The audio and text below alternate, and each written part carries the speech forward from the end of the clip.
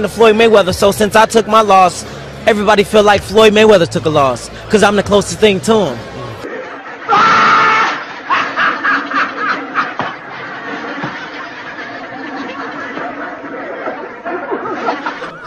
Man, what's up, man? Give me your reaction to the Fuck fight. you man. and fuck boxing, brother. Fuck boxing. Are you done boxing?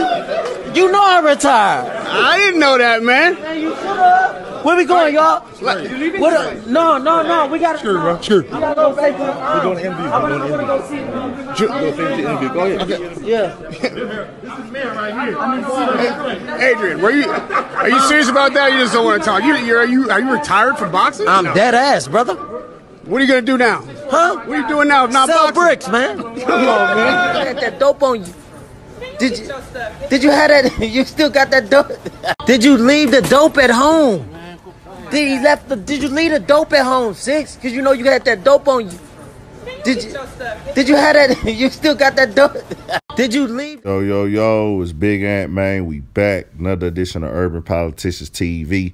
Had to come tap in real quick, man, on Adrien Broner coming out saying, fuck boxing. He about to be on these bricks. Now, he came out and said this once before, but he kind of stepped on it again right after the uh, Errol Spence fight when he was asked this last weekend. This That was his response. Hey, man, make sure y'all subscribe to the channel, Urban Politicians TV. Make sure y'all follow me on my Instagram pages, my personal pages at Urban Politicians underscore Big Ant. And the blog page is at Urban Politicians TV. Now, man, one thing about Adrien Broner, dog, we know he be flip flopping like paint. He be up and down on his emotions. And one thing about Adrien Broner, he said a lot of disrespectful shit. He's done a lot of things that rub people the wrong way. But I'm the person. I, I if you know me, you've been following me on Instagram before I even started doing YouTube, anything like that. You know I'm a big boxing fan, and you know that hey. I was a big Adrien Broner fan. I still am a big Adrien Broner fan, man. Uh, you know that I followed his career early on. He was real entertaining. You know, uh, I thought he was gonna be the next one of the next great ones, man. And and I want to say this. This is one of them instances where somebody's talent was dope and he was and he was one of the hardest young motherfuckers in boxing, but he didn't go maximize it. He kind of didn't take his power up with him.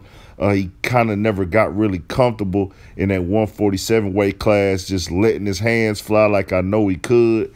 But with all in all, man, Adrien Broner, I just feel like this nigga got to get back in that ring, dog, get focused, or or take it to another direction because, bro, at the end of the day, it's gonna be hard to get paid the type of money you was getting paid in that boxing ring on some everyday type shit.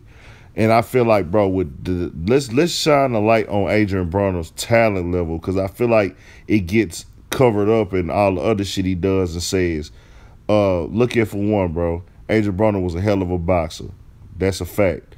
Like a four-time different weight champion or something like that. He broke a record for that.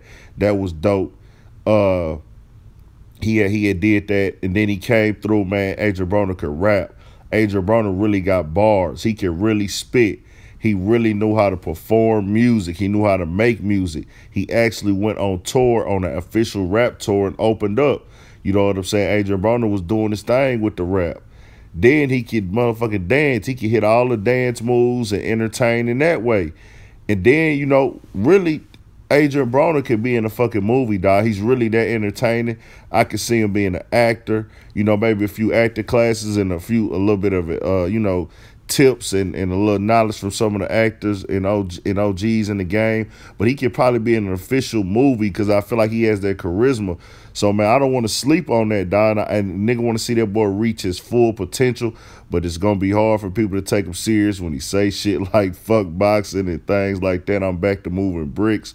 But you know, we still we gonna show Adrian Brown love still, man. You know, I fuck with the boy. You know, I go in on him sometimes because it's entertainment. But that's the dog. I want to see the boy win, man. Shout out to Adrien Broner.